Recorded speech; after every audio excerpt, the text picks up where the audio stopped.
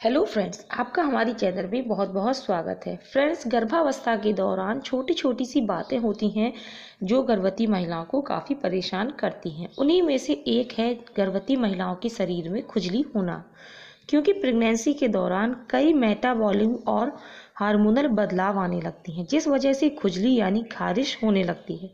गर्भावस्था बढ़ने पर पेट तथा स्तनों के आसपास भी खुजली होने लगती है। ऐसा इसलिए होने लगता है क्योंकि भ्रूण का आकार बढ़ने की वजह से पेट का आकार भी बढ़ने लगता है। इस वजह से तालमेल बिठाने के लिए पेट की बाहरी की त्वचा में खिंचाव पैदा हो जाता है और खुजली होने लगती है। अगर त्वचा में किसी भी हिस्से में आप खुजली से परेशान हैं तो मैं आपको जो टिप्स बताने वाली हूँ, आप उनको फॉलो करिए, आपको आराम मिलेगा। तो चलिए शुरू करते हैं। आप शुद्ध देसी घी को हल्का सा गुनगुना कर लीजिए और फिर इससे अपने शरीर पर मालिश करिए। इससे आपको खुजली से निजात मिलेगी। बादाम के तेल में हल्का सा पानी मिलाकर अपने शरीर की मसाज करें।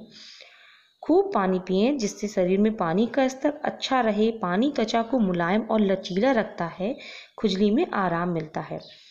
नहाने के पानी में एक ढक्कन डिटॉल या कोई भी एंटीसेप्टिक लिक्विड डालकर नहाएँ। इससे सारे हानिकारक बैक्टीरिया ख़त्म हो जाते हैं और जो भी आपकी शरीर की खुजली वगैरह है, वो ख़त्म हो जाती है।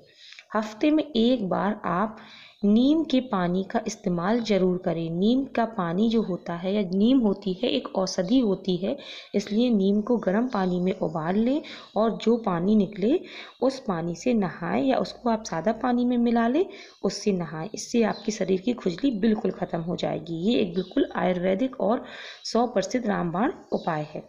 कभी भी नहाने पर यह हाथ पैर धोने के बाद रगड़ कर शरीर को ना पहुँचे हल्के हल्के हाथों से टॉवल से पहुँचे और पहुँचने के तुरंत बाद कोई बादाम या नारियल का तेल या सरसों का तेल लगा दें ताकि त्वचा में नमी बरकरार रहे। अगर आपको खुजली की समस्या है तो ज़्यादा देर तक पानी में काम ना करें। पानी में ज़्यादा देर तक रहने से त्वचा की नमी चली जाती है और त्वचा शुष्क हो जाती है, जिससे खुजली की समस्या पैदा हो जाती है।